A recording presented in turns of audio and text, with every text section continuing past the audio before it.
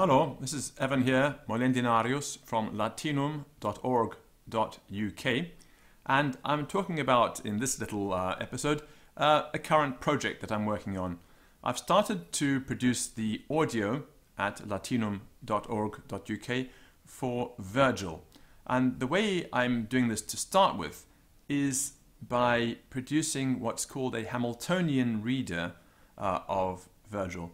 The way the Hamiltonian readers work is that the text of uh, the poetical text of the Romans is rewritten in the Latin in a form that allows a simultaneous English translation.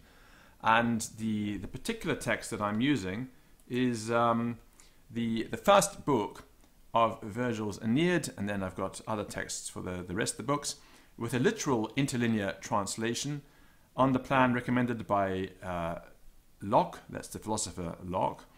Um, this is the third edition, and it was printed by the publisher to the University of London, uh, John Taylor, in 1829.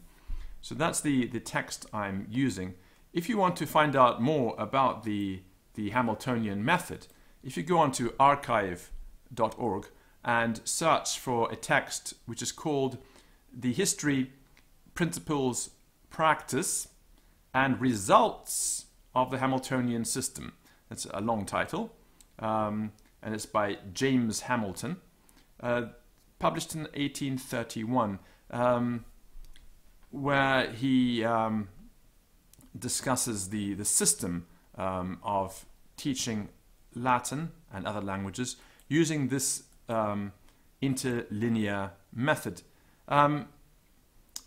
And uh, it's uh, uh, it sort of goes through. It's quite a discursive little book. It's interesting. Um, it's got anecdotes. Talks about his history of language study and how he came about doing it, and his efforts to teach Latin to um, rustic boys in an English school who barely knew English itself, using this system. Um, firstly with Phaedrus, and then um, uh, well, what other texts were in the in there? Um, the Eutropius the Virgil, etc. And there are several texts uh, on this Hamiltonian plan. So the way I'm doing it is I'm reading out the material in Latin, and then English, and then Latin, phrase by phrase, and progressing through. And then once that's finished, I will then go back and reread the Latin paraphrase of John Stirling of Virgil. And then once the Latin paraphrase of John Stirling has been read, then we'll go back and look at the original text and discuss various ways of reading it. Um, I'm not going to do a, a, scansion reading. Such a reading already exists. You can find it on um, archive.org, where the scansion is made explicit in the reading.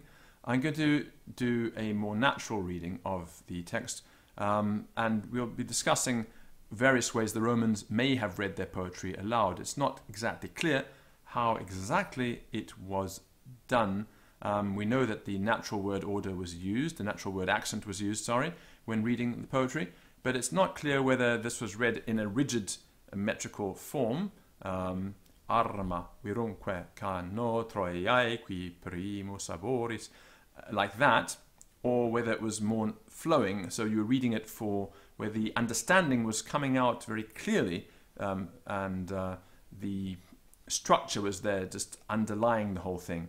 Um, so there, there are different schools of thought about how to, to go about reading Latin poetry aloud, and we'll discuss those and the choices that I've made um, when reading the poem aloud and why I've made those choices.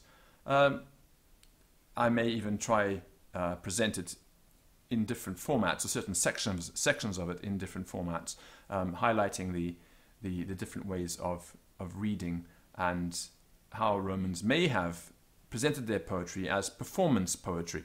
Now, remember that most students of Latin approach their Latin as words on a page and primarily experience it silently. So, this whole thing of, of doing what the Romans did, which was to present things orally, is not commonly found.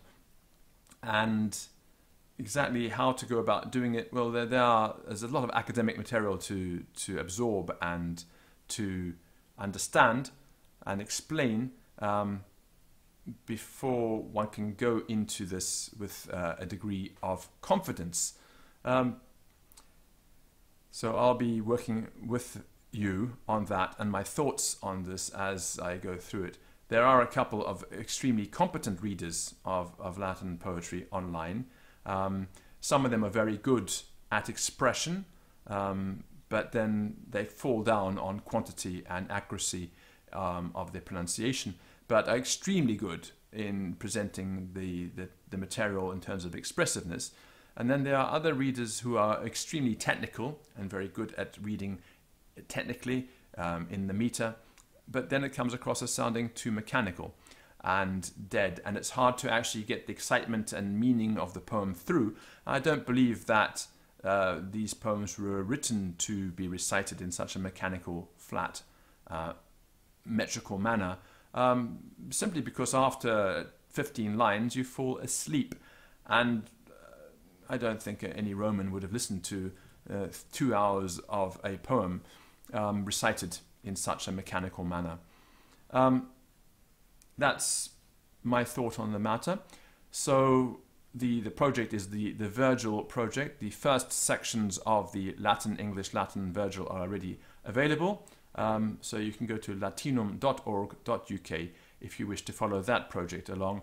It will be a prime project uh, at Latinum um, for the next um, few months until it's completed. Wale. Bye.